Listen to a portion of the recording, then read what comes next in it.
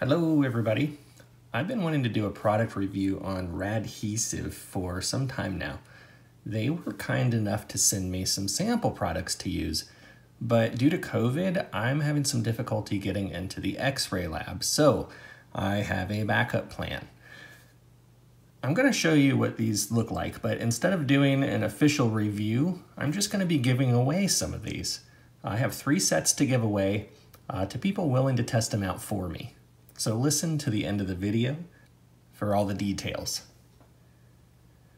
So just so you're aware, I, I, asked my staff who float across a five hospital healthcare system and over 10 outpatient clinics if they've ever used these, and the ones that have provided me with some pretty positive feedback.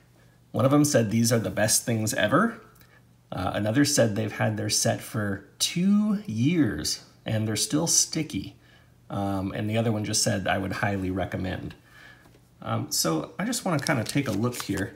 This is the, the product itself, Radhesive. It is a kind of, I don't know if it's silicone based, but it's, it's a real squishy material that attaches to the back of your markers uh, to replace that god-awful tape practice that uh, we've had for so many years.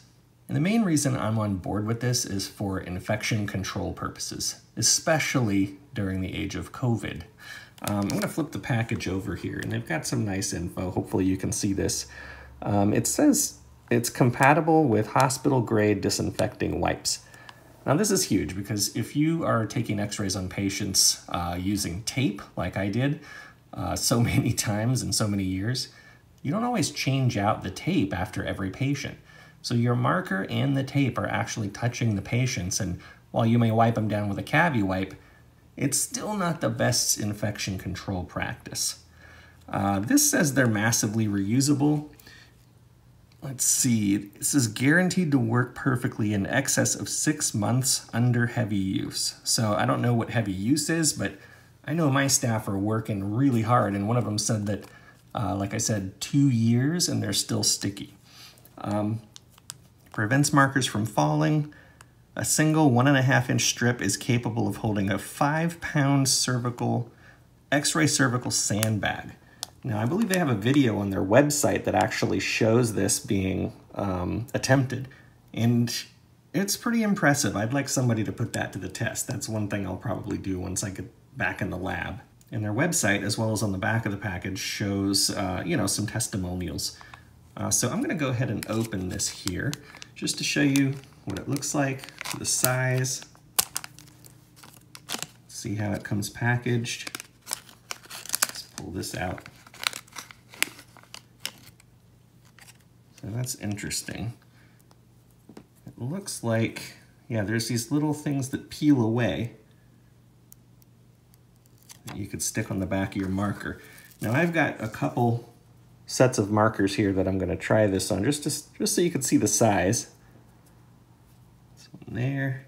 That doesn't go past the edges, so I'm sure, you know, that being a wider marker, you know, gives it plenty of room.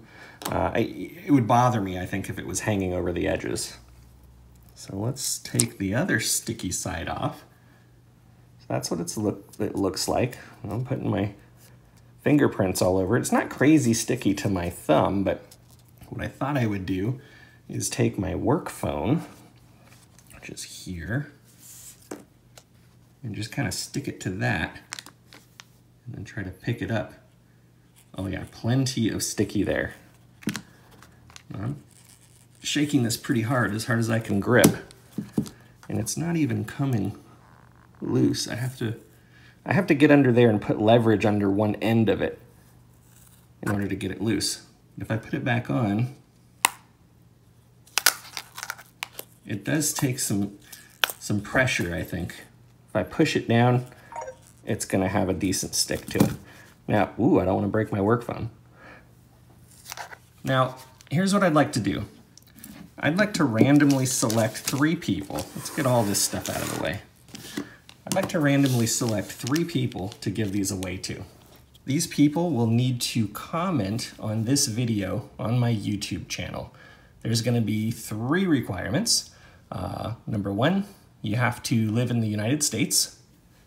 Number two, in your comment, I'd like you to describe your work location, whether it's hospital, uh, outpatient clinic, mobile company. Um, give details like how many beds and or patient exams you might do every day. I want to get a good sense of the workload that these people are going to be uh, working with these with.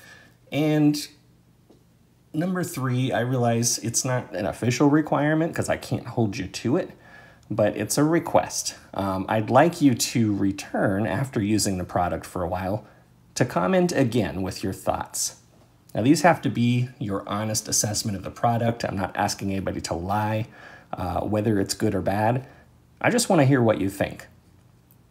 So, like I said, I can't hold you to this one, but I'm going to send them to you in good faith that you'll follow up. So, exactly one week from this video being published, I will reply to the three winners' comments left here on YouTube. So I know some of you, these, these aren't that expensive. Um, some of you might just want to purchase this product. I'm going to put a link in the video description if that describes you, if you want to just go directly to the manufacturer's website. But just a disclaimer, if you use my link, I do earn a small percentage of every purchase made through the link, but it doesn't cost you anything extra. Either way, I typically only back products that I would use myself. I just haven't had a chance to test this, and there are so many good reviews out there. I want your feedback. So let me know.